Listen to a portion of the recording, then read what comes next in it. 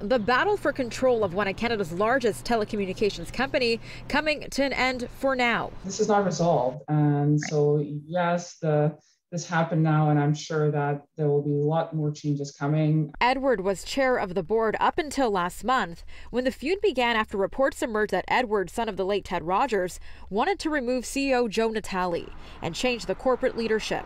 His plan was interrupted by other members of the board, including Edward Rogers' sister and mother. Edward went on to remove and replace five directors without a meeting of shareholders. Under BC Corporation Act, um, resolutions written resolutions can be used to uh, resolve situations like this where the shareholder uh, majority of shareholders signed a resolution to support the changes. A family owned trust controls 97.5% of voting shares in Rogers Communications. Edward Rogers has said that as chair of the family trust, he controls the votes and can choose the directors on his own, an argument which members of his family disputes. Justice Fitzpatrick's decision validates the changes made by Edward. It stabilizes things for a while. You know, whether you like the decision or you don't, at least we know who the legitimate board is. There will be some changes. We know that's coming. And you know, Edward's been quite uh, frank about the fact that he did not believe that Joe Natale was doing a good job. That's really not up for debate anymore. He makes the decisions.